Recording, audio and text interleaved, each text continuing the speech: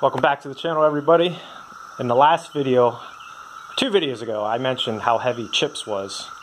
And I got my boy here who's to help me put it on the scale. But before we do that, I want you guys to guess, and you could probably do a Google search on how much a 3120 XP weighs.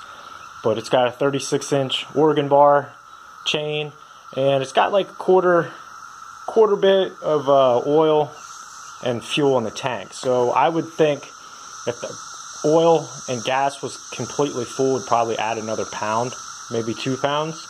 But I'm to have him lift it up. We're to put it on the scale. Let's get those guesses in, put them in the comments section. This is with a quarter tank of gas and oil. Well, that ain't right. 31.2. You didn't have it centered. That's pretty heavy, isn't it? Yeah. yeah. All right, so there you have it. Right around 31 pounds. 3120 XP Husqvarna, 36 inch bar. Thanks for watching, guys, and we'll see you next time. Yeah. Yeah, maybe not him, but we'll see you next time. Thanks for watching.